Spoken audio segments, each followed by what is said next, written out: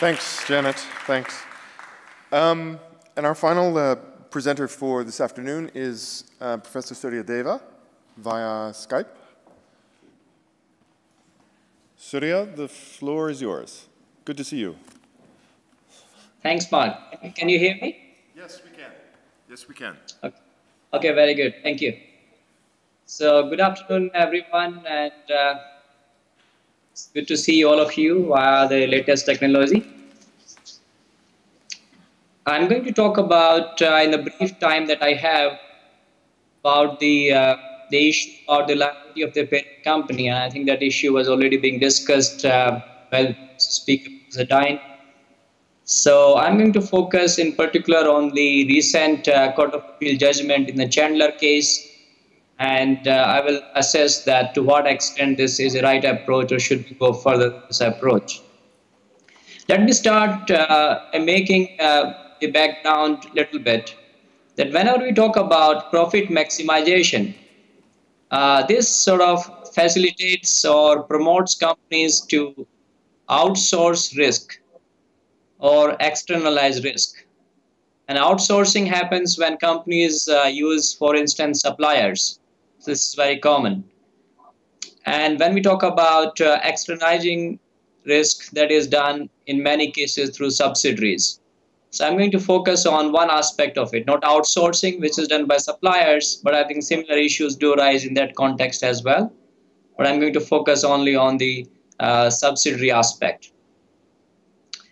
Now, if we look at uh, the current principles of uh, corporate law, twin principles, and I'm sure all of you are familiar with those principles. Uh, the first one is the separate uh, personality of the uh, companies, whether subsidiary or the parent and the second that flows from it is the limited liability. Now, these uh, two principles are sort of very much entrenched in the corporate law in both civil law and common law jurisdictions. Uh, there are certain exceptions, of course, but in many cases, uh, these uh, main principles still hold very true. And uh, very recently, I was at this forum on business and human rights, and I would like to bring in back what was mentioned there uh, by the uh, one of the um, I think it was Secretary General of the International Organization of Employers. So it's a very uh, influential body of companies operating all over the world. And a specific point was made by that person that uh, why should we sue the parent company? Because parent company is a different entity, and that's why we should not go after the parent. And if uh, wrong is done by the subsidiary, we should just go and uh, seek the remedy against the subsidiary company. I think in this context, it is necessary to consider very briefly why do we need to sue parent company in certain situations. Uh, first of all, there could be some economic reasons. Uh, the economic reasons could be that the subsidiary is underfunded. It does not have the resources, especially the mass tort cases. Those issues will come or there could be a situation that you go for the deeper pockets. There could be incentives for plaintiffs to, to sue companies, the parent company in particular, in those jurisdictions where the compensation could be more. Then, if you look at uh, the, the how the interrelationship is there between the parent and subsidiary, there are governance issues. So, to an outsider, it might be difficult to find out uh, where the wrong lies. Is it the decision taken by the subsidiary or the parent company? And that's why there is always this temptation to go after the parent company. Then uh, I think uh, in, in, terms of fault as well as uh, ethical norms, it, it makes sense. If the decisions have been taken by the parent company, it makes sense to make the parent company accountable rather than merely going after the subsidiary company in that particular sense. And finally, from the policy point of view, uh, I think it would be useful if uh, we could make uh, the parent company accountable because that is going to send some incentive, disincentives, and they should manage their affairs better in that particular context. Now, traditionally, there are several principles that are invoked uh, to hold the parent company liable. It could be the agency principle, it could be the vicarious liability, it could be the situations of uh, invoking enterprise theory. But most uh, common is the veil piercing jurisprudence. However, in practice, uh, piercing the veil has been very difficult and it has been more difficult. Uh, there have been some research done uh, empirically on this issue. It has been more difficult in tort cases as compared to corporate law cases or tax evasion cases. So when it comes to uh, issues that we are dealing with, environmental pollution or mitigation of uh, climate change and all these issues, veil piercing becomes more difficult. And that will hold also, in my view, in human rights cases. Uh, but it's it's not merely that because uh, even the courts have been very inconsistent in applying veil piercing and that's why it is difficult for lawyers to advise the clients whether they can get um, uh, veil pierced or not so it is it is really very half-edged inconsistent judicial uh, approach so far and i think it is also inefficient because whenever this argument of veil piercing is made it might take years so every time we are litigating and the facts of every case are different. And that's why this is also sort of very inefficient. So in my view, we need to look beyond this.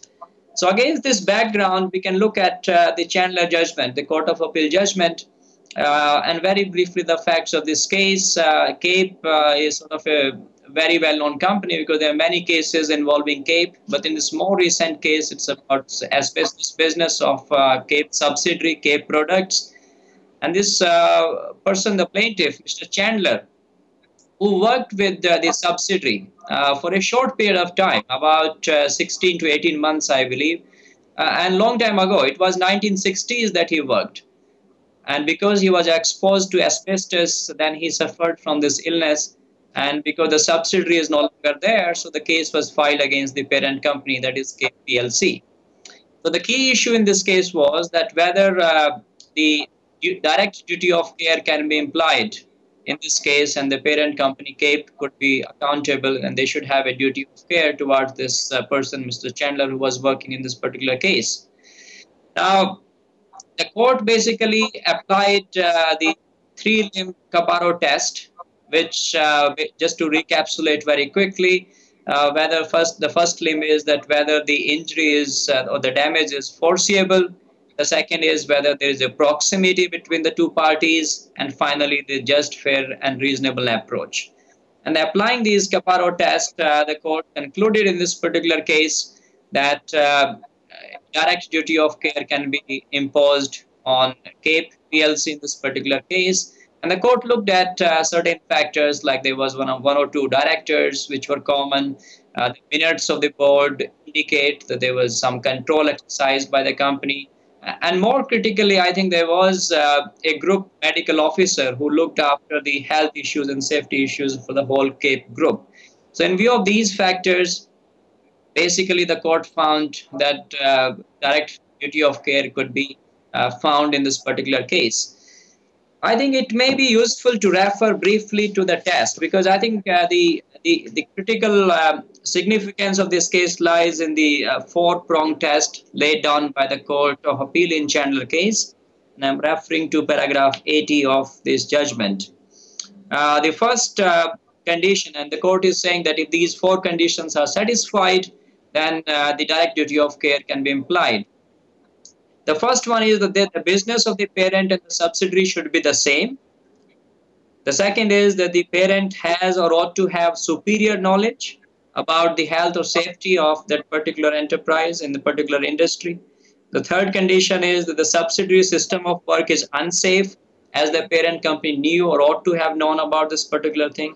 And the final and fourth condition is the parent should have uh, foreseen that the employees are going to rely upon it. So these are the four uh, limbs the test that the courts have proposed. Now the significance of uh, this judgment lies that uh, from the victim's point of view, it is not necessary anymore to pierce the corporate veil. And the court very clearly differentiated that we are not piercing the corporate veil. We recognize that CAPE Products was a separate company and CAPE is a separate company.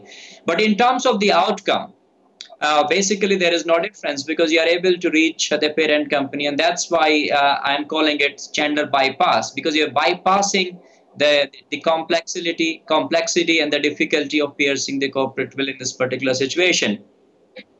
In the context of Europe, uh, the issue of FNC, forum non conveniens, is not relevant anymore, but this judgment will have significant implication outside Europe because FNC will become irrelevant. If there is a direct duty of care on the home state where the company is based, then FNC, let us say the courts in uh, Australia or elsewhere in Canada, US, or in India, Singapore, other countries apply this approach, then FNC is going to become almost useless. So these are significant advantages of this uh, Chandler approach.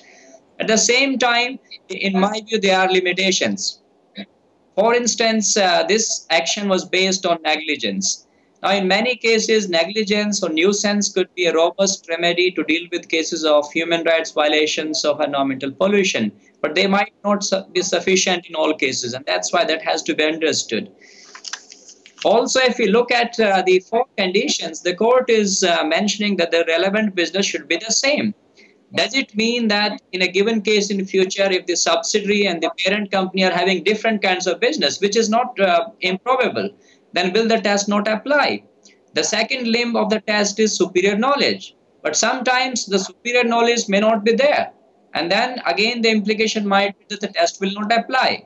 So I think in my view, Chandler represents a very significant uh, positive development as far as the plaintiffs or the victims are concerned when it comes to violation of human rights or environmental pollution.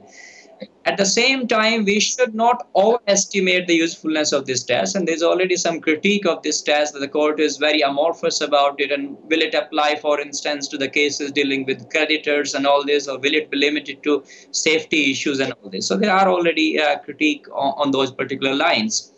So my, my proposition is, and I will conclude with that, that it may be useful for the corporate law uh, to lay down within the statutory provisions, uh, whichever jurisdiction we're talking about, a statutory presumption.